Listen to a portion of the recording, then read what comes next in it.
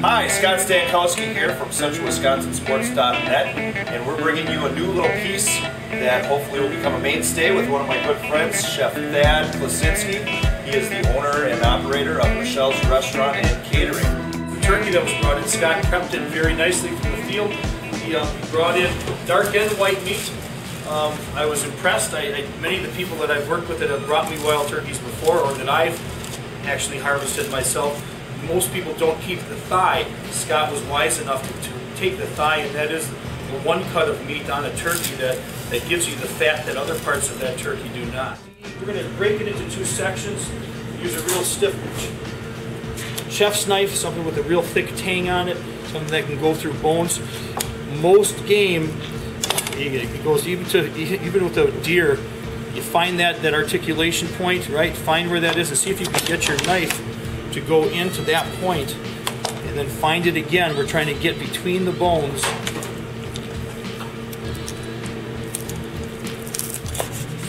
Okay, so I got the head of the femur. I guess that was what we call that's all cartilage there. So I, I kind of cut through the cartilage to separate those two. This is that wonderful thigh I told you about, okay? The thigh that to me is the most underrated part of that turkey. Um, remember that, boys, when you're out in the woods, save the thighs. I'm using it for the meat in the soup. You could use it for all different things. You probably could get away with even taking this and, and just pan frying like we do venison medallions sometimes. It's so rich and dark and just nice stuff. We're, we're leaving the bone in. When we're making stocks, we can leave some of the cruddy stuff in. As you know, we're going to go ahead and take this and, and we're going to boil it. So we're going to break down most of those proteins and we're really looking for the stock in the end, that the liquid we, we, we get in the end. But, so I've broken them into two groups. I mentioned earlier that sometimes we'll, we'll take it and score this so it cooks more uniformly. We get the liquid to work in, cooks quicker, more uniformly, gets flavors inside. So I scored that. So we're going to put this right in some boiling water. And then the water, we're going to add some ingredients to help the stock out. We're going to add, just about a quart of water. We're going to add, I, am going to add probably a um, two tablespoons of kosher salt. Four or five bay leaves. Then we're going to add about a teaspoon of white pepper. I'm going to turn up the heat. We're going to let this, when it comes to a boil, we'll turn it down to a simmer and we will let it stay there for as much as four hours. Probably having to add liquid as we go along to replace what cooks off. But that's our the start of our soup. Uh, pretty simple recipe. We're trying to get the flavors from the bones and the meats uh, to create that stock. So this has been boiling and that's going to be the basis of our soup. That's going to be the stock. So we're going to come and we're going to go ahead and drain the stock now it's been cooking. So the way I set this up is I'll typically just get a colander on top of another pan and I'll pour off the, the bones and the meat that's now fallen off the bone to some extent. Just so in case there were any maybe pellets or wood fragments, they're not going to get in the stock. Now we have a clear, strained stock. I'm going to take from stock, and I'm going to pull the meat away.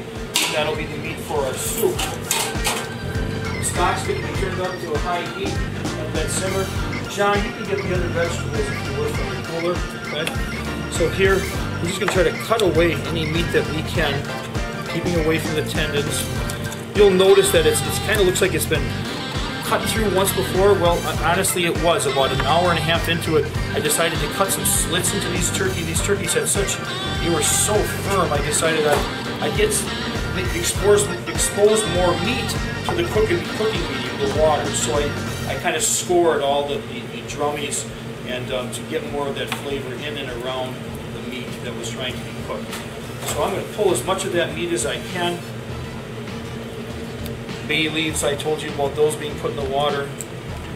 It's like this bird got hit with one of the pellets, maybe hit it in the leg. I know that I didn't drive a knife through it like that, so who knows, maybe a little luck for us. Some of the bone marrow came out and added to the wonderful flavor of the soup. Once I have the meat tendon-free, ligament-free, fat-free, I'm going to chop in pieces that you would make sense to you for a soup can hear the knife snap sometimes. You hear the knife snap driving through wild game, that means there's probably something in there you don't want. And trust me, if you've ever seen a turkey leg, there's a lot going on there.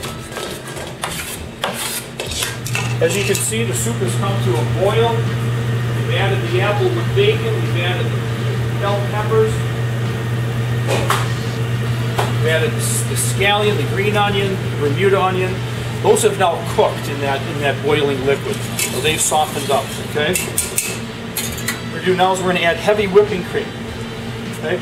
Quart of soup, I'm gonna add probably as much as two cups of this.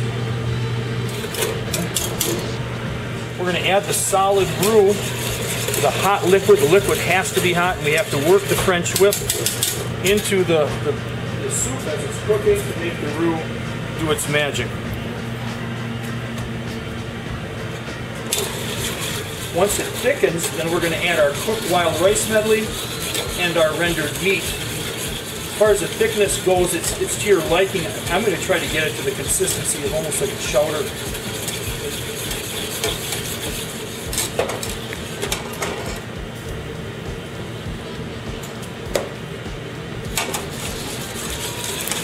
And one of the things with using a roux is you've got to be a little careful because if you you think you don't have enough, you might want to just give it a little more time and temperature because it'll all of a sudden go from being not thick enough to what you see there, maybe even a little too thick.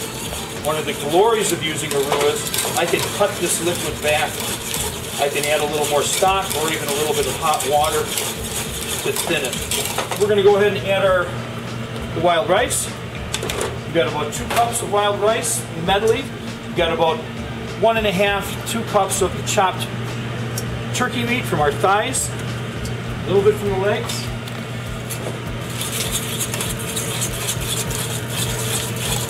Quite a thick soup. We're going to thin it with some more water. Maybe take a flat bowl like so.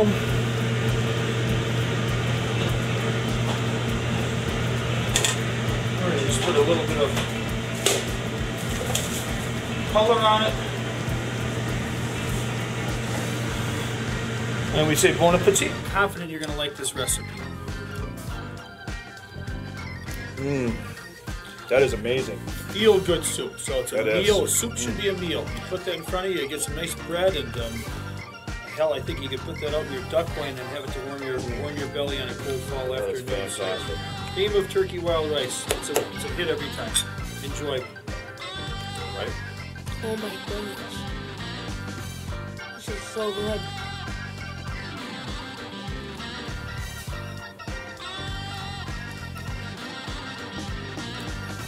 My god.